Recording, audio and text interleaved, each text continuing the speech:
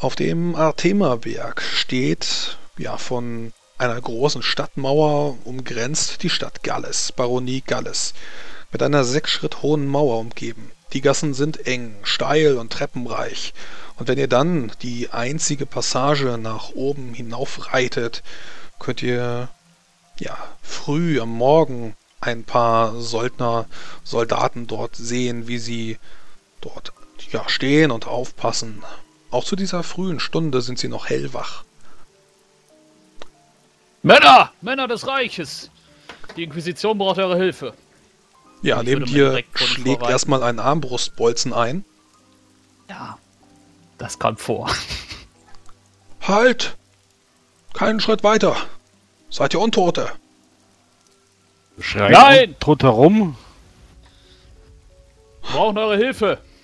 Im Namen des Reiches. Wo, wo, kommt ihr her? Aus Wehrheim. Sverheim. Dann reitet am besten gleich wieder um. Wir haben Kunde bekommen. Sie kommen. Richtig. Das wissen wir. Wir brauchen Pferde. Wie Pferde. Wir haben, Drei. wir haben keine Pferde. Wir sind Gaugrafen und mit inquisitorischer Vollmacht hier. Sagt uns jetzt bitte, was Sache ist und lasst uns näher kommen, damit wir euch unser Schreiben zeigen können und wir endlich aufhören können, uns anzufeinden. Dann, dann kommt hoch. Kommt hoch, mein Herr. Komm mit. Man steigt natürlich ab, um den guten Willen zu zeigen, dass man nicht irgendwelche Leute überreiten will und führt das Pferd am Zaun zurück, währenddessen man schon beim Absteigen kurz rauskramt hier sein gewachstes Schreiben. Ihr könnt die Stadt gerne betreten, mein Herr. Ich will euch nicht aufhalten, aber ihr könnt keine Pferde haben. Wieso nicht? Sie kommen. Okay, verrat uns erstmal, was ihr momentan wisst, denn es gibt einige äh, dämonische Paktierer, die hier rumrennen, die Fehlinformationen verbreiten. Äh, Das, das, das war ein Rondrianer, der hier eintraf. Vor, Ja. vor, vor wenigen Stunden erst. Er sagte, es geht jetzt los. Es ist leider so, dass der Rondrianer höchstwahrscheinlich falsche Befehle hat, aber das wissen wir nicht genau. Befehle von was? Also, dass jetzt jeden Moment aus Osten von der Trollpforte her die Feinde kommen. Ja, mein Herr. Das sind, das sind falsche Meldungen.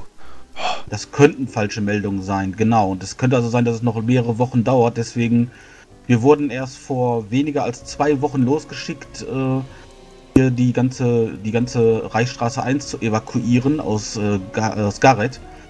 Und sind mit, also sind mit einigen Heeren äh, losmarschiert. Und äh, ja, das Ganze dauert eben. Und das, es ist unwahrscheinlich, dass der Feind schon so weit ist.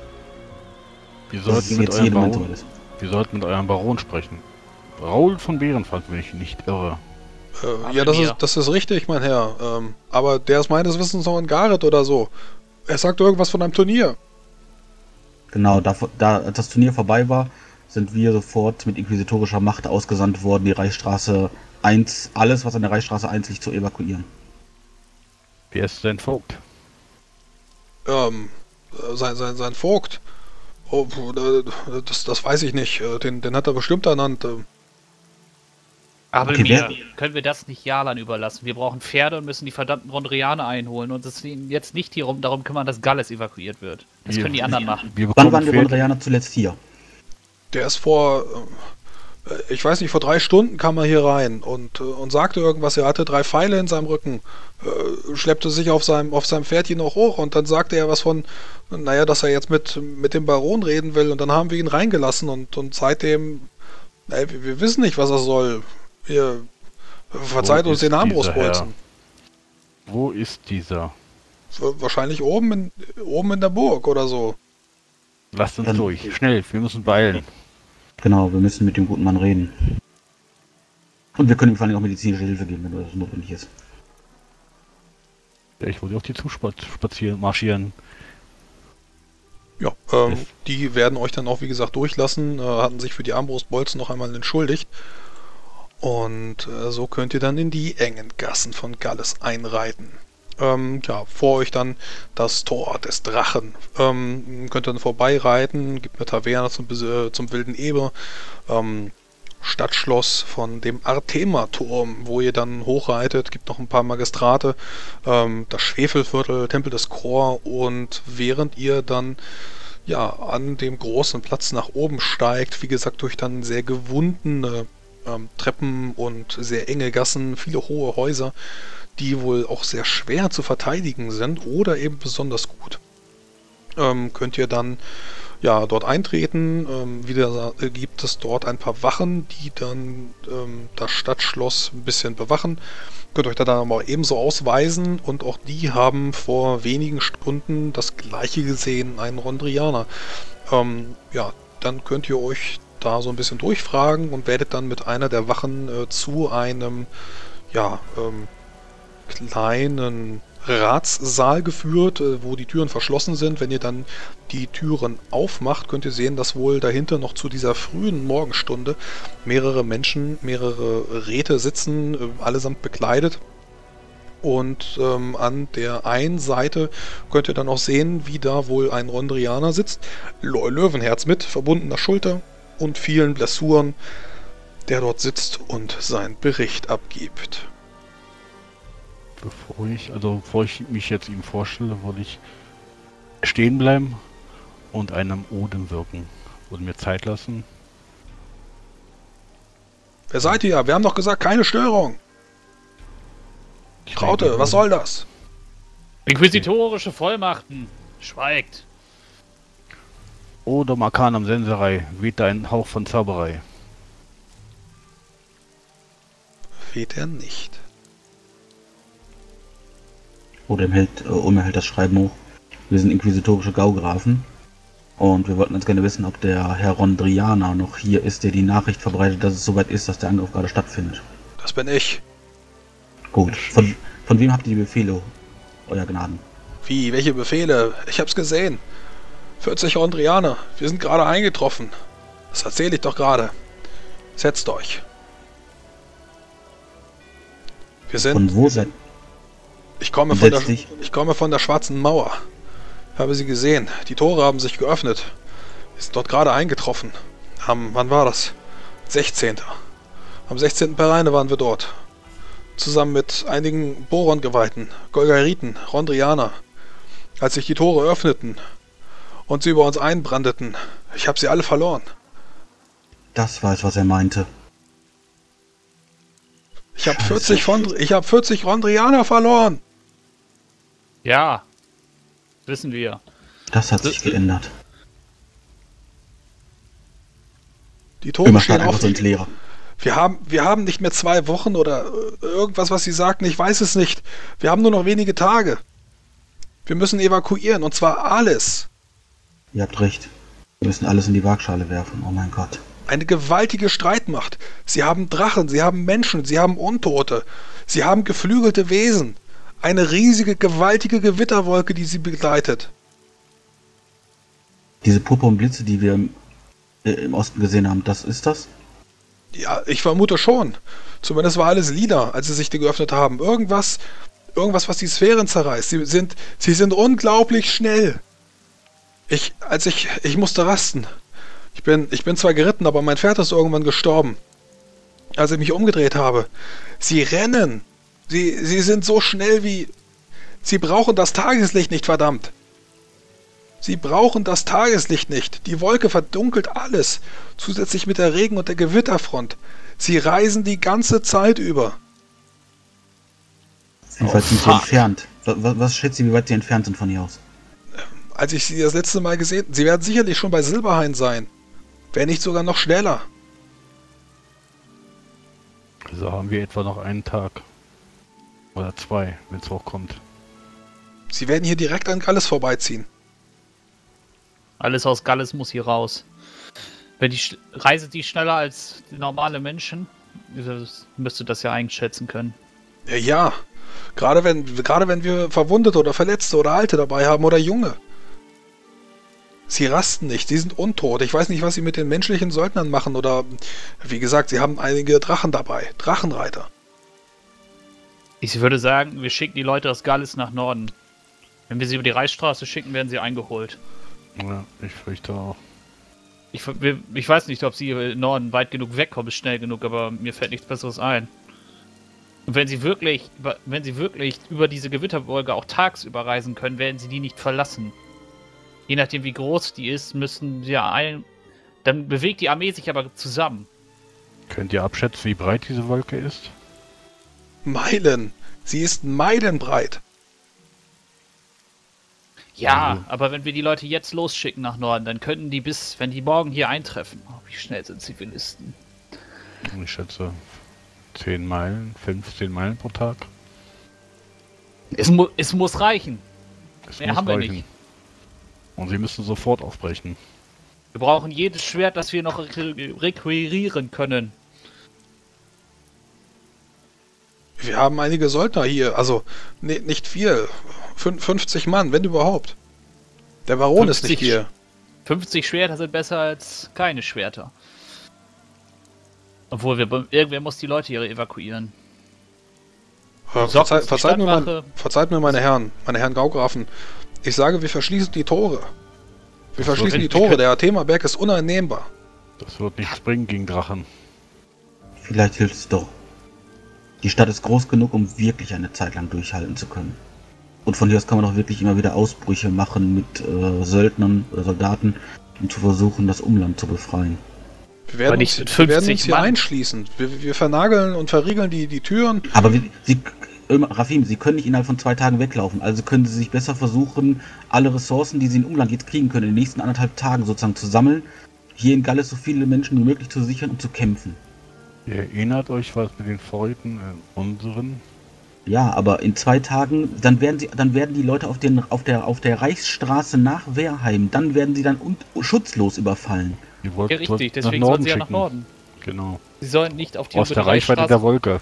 Richtig, sie sollen nach Norden. Die Armee wird zusammenbleiben. Wenn sie wirklich über die, über, durch diese Wolke auch am Tag reisen können, dann werden sie bei der Wolke bleiben. Sie werden nicht ausschwärmen. Also bis wir sie einfach nur wegbekommen von der Weg der Armee. Sie wollen müssen doch, einfach sie wollen weg. doch Galles gar nicht erobern, oder doch? Also, Die werden wahrscheinlich einfach Galles niederwalzen oder zumindest äh, sehr schwer beschädigen auf dem Weg weiter. Sie haben natürlich Interesse, Wehrheim einzunehmen, aber sie werden wahrscheinlich an Galles äh, ihre Spuren hinterlassen und vielleicht auch einige hunderte von Untoten über die, über die Stadt ergießen. Die, die, Le- was wir, was wir, was, was wir vielleicht machen könnten, ist, wir stecken die Stadt in, wenn wir wirklich versuchen, die Stadt zu halten, stecken wir sie in Brand.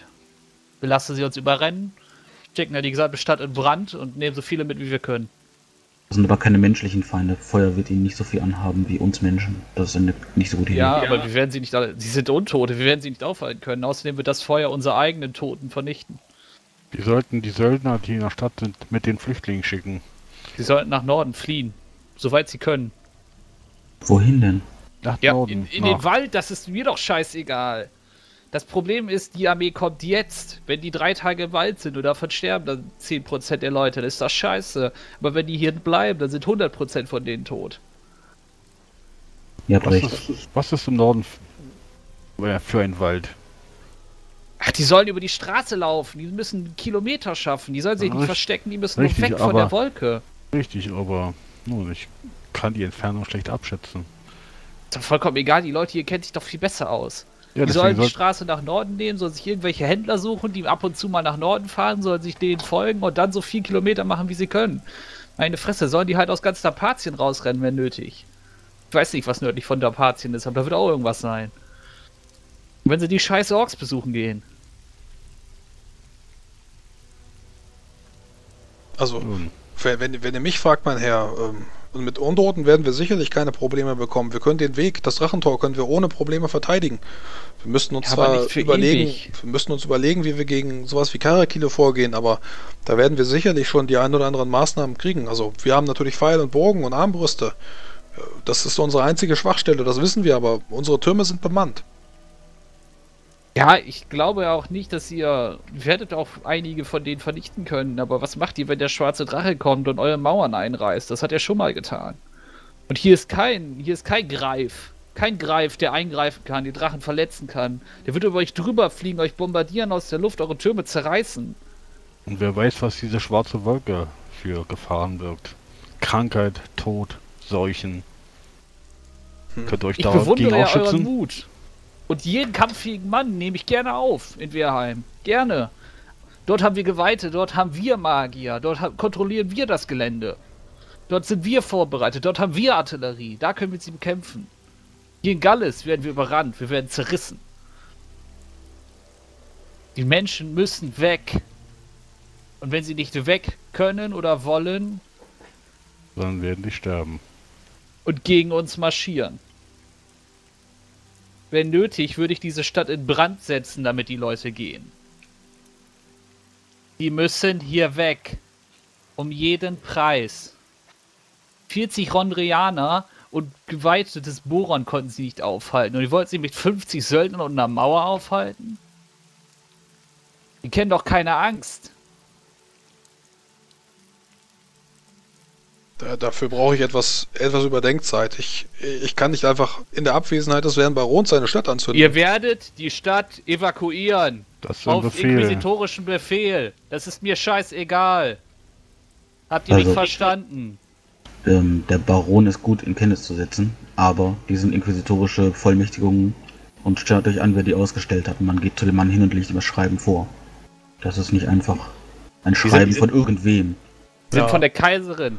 Ihr werdet evakuieren. ja, du kannst Und wenn ihr sehen, das nicht macht, dann du kannst sehen, wie der Vogt jetzt in Tränen ausbricht und äh, über dem Pergament anfängt zu weinen, bittere Krokodilstränen und dann auch seinen Kopf abstützt. Der ist vollkommen fertig. Ihr tut das Werk Praios, wenn ihr eure Untertanen schützt und sie nach Norden schickt. Das wird für niemanden angenehm, aber es wird noch unangenehmer, wenn sie zu Untoten werden. Das wollt ihr doch niemandem. Ihr wollt doch niemandem, dass er seine Seele an die Untoten verliert. Das hat niemand verdient. Ja, ja, mein Herr. Ihr tut das Richtige. Und glaubt mir, es wird für alle eine unschöne Zeit. Man schaut zum Rondrianer hin. Braucht ihr Heilung? Ich werde es überleben. Ich werde es überleben. Wir könnten euch in Wehrheim gut brauchen, wenn ihr euch noch bereit fühlt.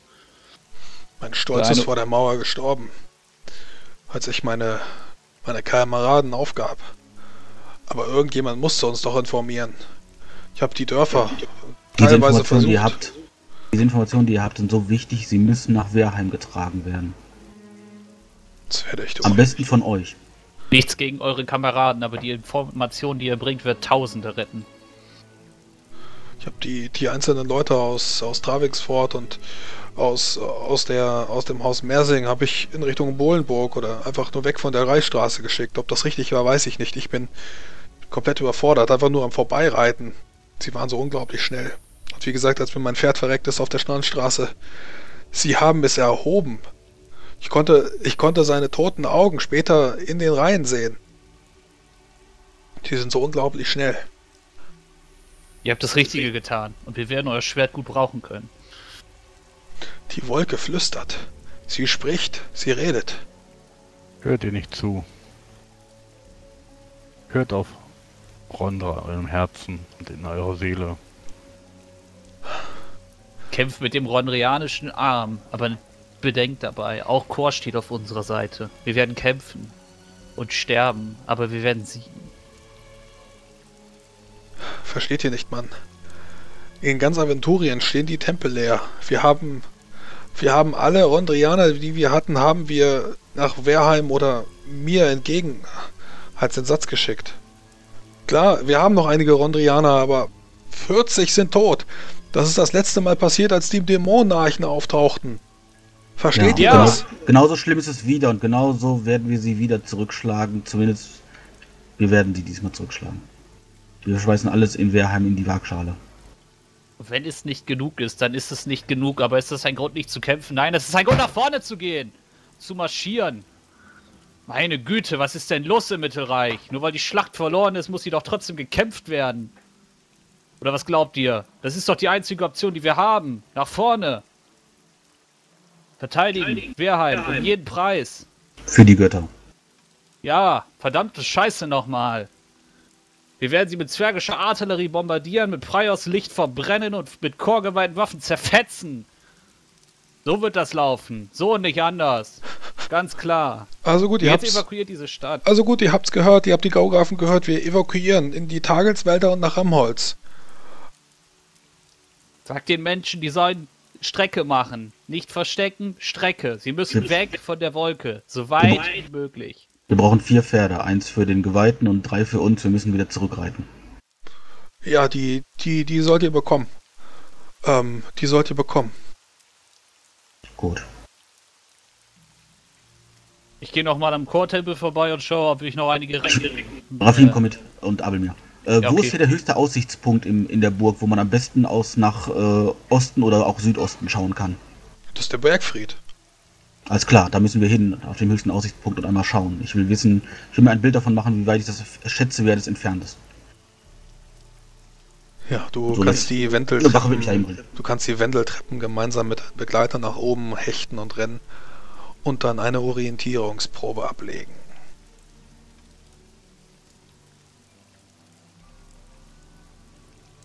Hilft mir da Kompass oder nicht? Der innere Kompass, ja, auf alle Fälle, sieben Punkte. Und die brauchst du auch. 20, 21 Meilen, also eine Tagesreise, vor allem wenn man zu Fuß ist. Vor allem wenn man zu Fuß ist. Scheiße, siehst du das, Rafim? Abelmir? Ja. Wir müssen zurück. Galles hat noch einen einzigen Tag. Ja. Immer will sich jetzt in den Rondra geweiht erstmal schnappen, wo der ist. Ja, sitzt immer noch unten ähm, und Wie, verbindet. wie geschwächt seid ihr? Ähm, ich, kann nicht kämpfen, aber reiten werde ich wohl noch können. Hier, ihr nehmt diesen Heiltrank, ihr nehmt diese drei Pastillen, das sind Pastillen gegen Erschöpfung. Die Past den Heiltrank werdet ihr zuerst runterschlucken, die Pastillen der Erschöpfung zerkauen und dann runterschlucken. Dann würdet ihr euch wie neu fühlen und ihr werdet die Kraft besitzen, Rondra wieder dienen zu können. Los. Hm. Er kämpft kurz mit sich, äh, nimmt dann die Pastillen und spült sie mit dem Heiltrank runter. Ja, Ich streich mir das eben. Der Heiltrank heilt zwar nur, kann aber für den Würfeln, was er kriegt, 2, 6 plus 4. Vielleicht eine Wunde. Auf jeden Fall, fast zwei Wunden, aber eine Wunde und 12 LE insgesamt. Genau. Kriegt der gute Mann wieder. Ja, ähm, sieht gut aus. Du siehst auch, wie sich automatisch dann eine der äh, Verbände dann von seiner Schulter abstreift und dann äh, einfach durch den, durch den Wundschorf weggedrückt wird, äh, den dann auch abdippt. Danke, mein Herr. Wir müssen zusammenhalten. Das hier ist wichtiger als jeder einzelne von uns. Ich werde, Hier, habt ihr ein ich paar werde Blätter. Sie informieren. Wenn ihr, wenn ihr irgendwann mal wieder rastet und länger als eine halbe Stunde Zeit habt, kocht euch damit einen Tee und dann reicht ihm rote Pfeilblüten in. Äh, hier müsst ihr euch einen kleinen Beutel nehmen, müsst gucken, dass sie trocken bleiben und dann macht ihr euch daraus einen Tee. Das wird euch dann über Nacht sozusagen, wenn ihr einfach mal richtig schlafen könnt, wieder stärken. Dann seid ihr einsatzbereit körperlich morgen. Also, sobald ihr wieder einmal. Danke, mein Herr. Rondra mit euch. Ja, Rondra mit uns allen, denn die werden wir, wir werden die Hilfe aller Götter brauchen. Evakuiert jedes Dorf, an dem ihr vorbeireitet. Die meisten sollten evakuiert sein, wenn unsere Gefährten ihre Aufgabe auch erledigen, aber wenn ihr, wenn ihr Leute seht, schickt sie nach Norden, schickt sie nach Süden, schickt sie einfach nur weg. Mir egal wohin. Schickt sie nicht nach Wehrheim. Sie werden eingeholt. Äh, Abelmir, hast du Sternenkunde? Die Frage geht natürlich auch für Ömer und Rafim, wobei ich bei Rafim Ja. ganz sicher bin, dass er es nicht hat. Äh. Bei Ömer weiß ich Sternenkunde? nie so genau. so, ja, Sternkunde hab habe ich auf 5. Ömer Auf kann drei. alles haben. Hm? Ömer hat ja als andere. Ömer hat höher als den Magier, ja. Tja, Mit Sternen habe ich mich noch nicht so beschäftigt. Das braucht man. Ich habe mir sagen lassen, auf dem Meer braucht man das. Ich glaube, äh, Chiara ist daran ziemlich gut. Ah. Gib mir doch mal eine Probe. Ja, natürlich. Das habe ich jetzt nicht ganz so verstanden. Ich so?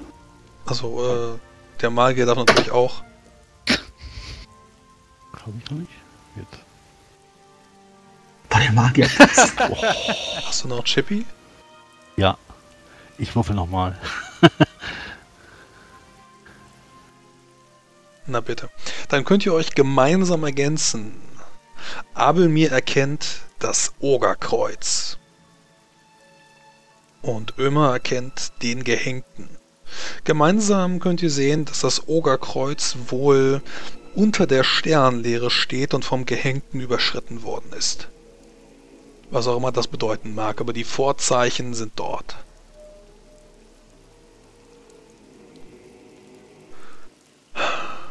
Ihr könnt euch dann zurückziehen, euch wird eine Unterkunft gewährt und könnt dann die Nacht abschütteln, konnte euch dann noch ein bisschen schlafen legen, nachdem ihr ein paar letzte Befehle gegeben habt. Ähm, auch der Vogt wird dann noch das letzte verbliebene Kraft benutzen, um dann ein paar Erlasse zu verteilen.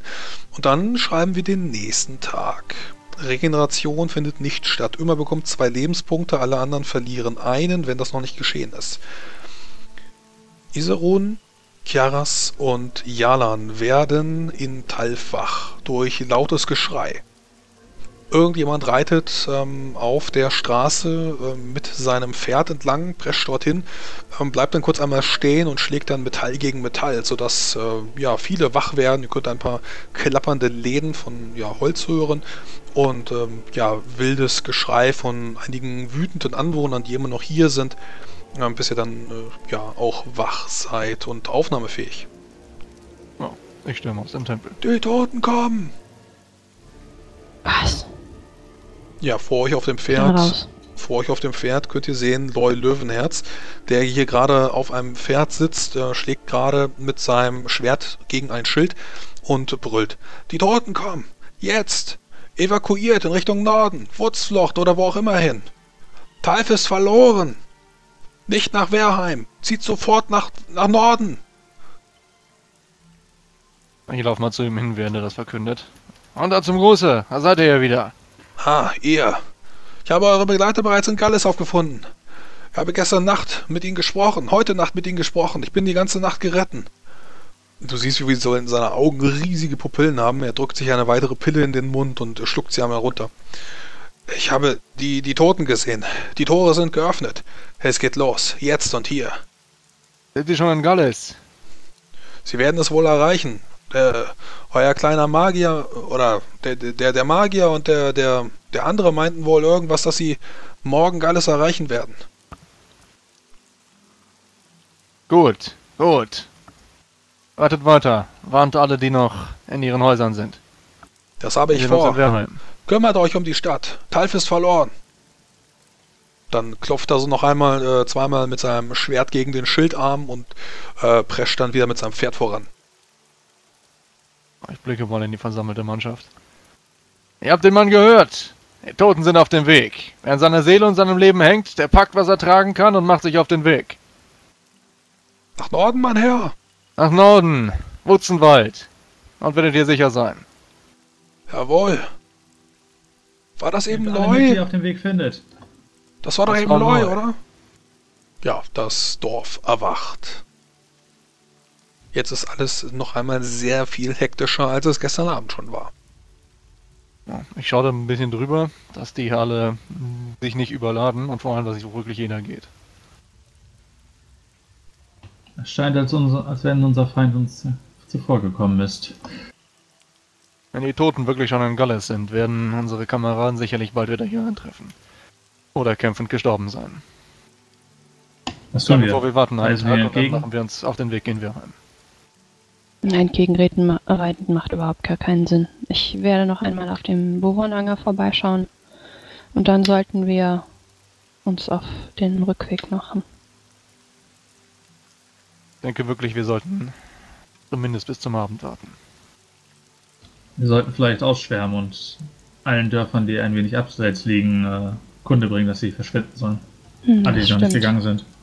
Wir sind schneller zu Pferde. Und unsere Herolde losschicken zurück. Auch dass auch sie die Nachricht verbreiten. Ich werde das Fußvolk mit nach Rutzenwald schicken. Ach, wir haben zusammen mit uns schaffen sie es wohl nicht mehr. Zumindest nicht, wenn wir zügig dort sein wollen. Das sehe ich auch so. Außerdem können sie die Kunde verbreiten, dass Flüchtlinge kommen werden. So haben wir doch weniger Zeit als gehofft. Also gut, wir klappern jeder einige Höfe und Weiler im Umland ab, was auch immer man sich sehen lässt.